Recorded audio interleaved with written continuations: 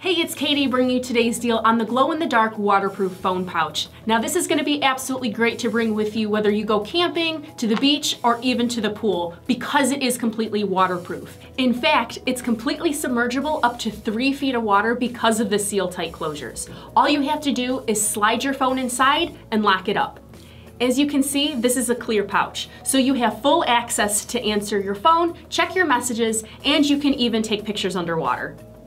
These fit virtually any kind of smartphone. I actually have a pop socket on mine and it still fits comfortably so I can still fit my credit card, my ID, and money.